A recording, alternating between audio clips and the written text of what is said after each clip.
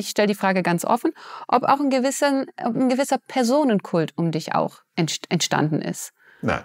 Mhm. Das, da bist du jetzt ganz bescheiden und sagst, nein, ich würde sagen, ja, doch, in gewisser Weise schon, weil ähm, ich glaube, dass diese Inhalte, die du ähm, verbreitest, die Vorträge, die du hältst, sehr stark auch an deine Person geknüpft ist. Und ich sage das auch gar nicht kritisch. Ich will das auch gar nicht bewerten in dem Zusammenhang. Ich weiß, du guckst mich jetzt an und denkst, es ist, es irgendwie halt so eine negative... Nein, ich sag dir, sag, darf ich dir sagen, wie ich sehe? Sag, sag bitte. Die Menschen, die zu meinem Vortrag kommen, die finden diese Information interessant die kaufen nicht ein Buch, nur weil ich es danach nach dem Vortrag unterschreibe, sondern die lesen das Buch. Ich wage das doch sehr ähm, zu bezweifeln. Du also, glaubst, die lesen das Buch nicht? Natürlich lesen natürlich die lesen sie das Buch. Ja, aber, aber dann interessieren sie sich doch für die Inhalte. Aber ich glaube, es ist die Kombination.